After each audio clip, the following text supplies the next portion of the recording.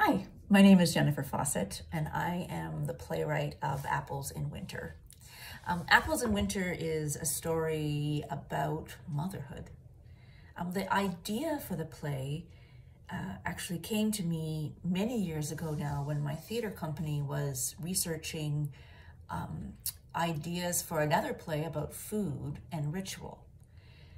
I wanted to write about the mother of someone who was seen as a monster.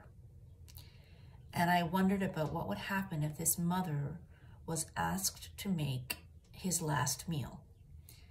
Making food for your child, especially a beloved food from childhood, seemed to me like the most natural expression of care and comfort that I could think of.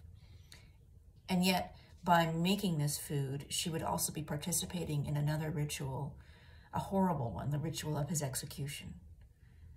For me, plays always start with a question. And so I was really fascinated by that question.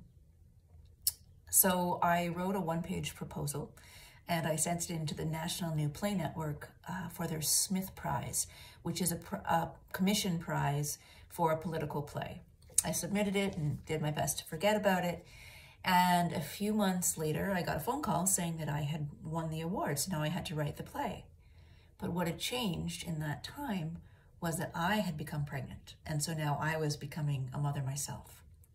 So this play was created in the final months of my pregnancy and the first few months of motherhood.